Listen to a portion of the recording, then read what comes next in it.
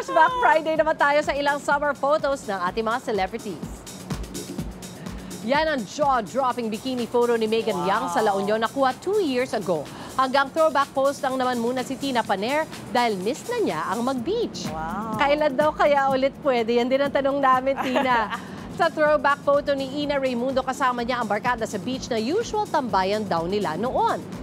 Parang wala nagbago sa kaseksihan ni Ina until now. Wala talaga. True naman, baka mas sumeksi pa. Sobra. Ang ganda niya ngayon, Yeah, no? no? Aging gracefully. Sobra.